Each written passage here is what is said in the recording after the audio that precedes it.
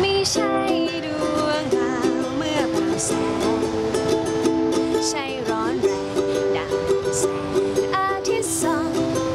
เตอรี่บายซีพีสัปดาห์นี้กิ่งเหมือนแพรจะพาไปนั่งชิวๆที่ร้านกาแฟบรรยากาศสุดเก๋ พร้อมพูดคุยกับเจ้าของร้านคนเก่งที่คุณรู้แล้วต้องทึ่ง ที่ชื่อ Coffee โมเดลเนี่ยเพราะว่าเริ่มทำโดยที่ไม่คิดว่าเราต้องเริ่มจากตรงนี้นะไม่ได้วางแผน ในเชิงว่าการตลาด เป็นร้านกาแฟในสวนชิลๆกว้าง แล้วก็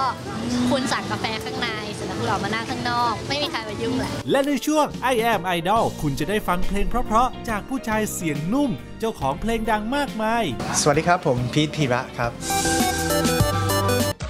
แล้วมาปิดท้ายด้วยเมนูอร่อย พนักงานเลิศของร้านราชาเมี่ยงปลาเผา ในช่วงเฮีย recommend สวัสดีค่ะ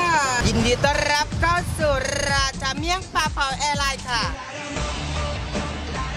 พบกับเรื่องราวทั้งหมดนี้ได้ในรายการ Food Diary by CP เวลาเที่ยงตรงทาง TNN 2 และเวลา 17นาฬิกา30 นาทีทาง TNN 24 นะครับ